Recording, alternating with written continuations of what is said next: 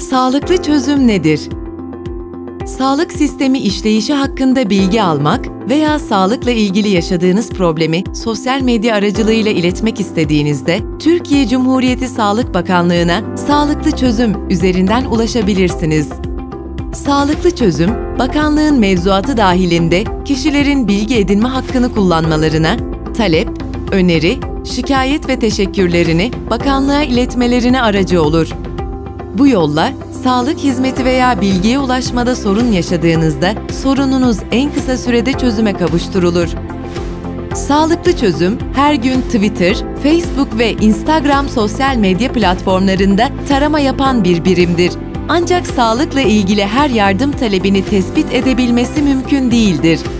Sosyal medyada böyle bir talep gördüğünüzde bunu sağlıklı çözüme ulaştırabilirsiniz. Sosyal medyada karşılaştığınız sağlıkla ilgili yardım talebini sağlıklı çözüme nasıl ulaştırırsınız? Talebe Twitter'da rastladıysanız retweet işaretine tıklayın. Burada size iki seçenek sunulur. Yorumla birlikte retweetle ve retweetle. Yorumla birlikte retweetle seçeneğine tıklayın. Açılan pencerenin yukarı kısmında yorum yazabileceğiniz yer bulunur. Buraya et saglikli cozum yazın, retweet işlemini tamamlayın. Talebe Instagram'da rastladıysanız paylaşımın altındaki ok işaretine tıklayın. Paylaşımı gönderebileceğiniz kişi seçenekleri sayfası açılır. Sağlıklı çözümü takip ediyorsanız sağlıklı çözümü seçin.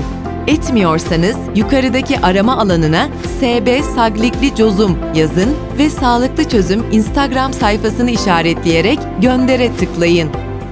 Eğer talebe Facebook'ta rastladıysanız paylaş yazan yere tıklayın. Burada karşınıza çıkan paylaşma seçeneklerinden uygun olanı seçin ve sağlıklı çözüm hesabını mentionlayarak paylaşın. Sosyal medyada karşılaştığınız sağlıkla ilgili talepleri sağlıklı çözüme bu yollarla ulaştırdığınızda yardıma ihtiyacı olan pek çok insanın sesini duyurmasını ve taleplerinin doğru kaynaklar tarafından değerlendirilmesini sağlayabilirsiniz.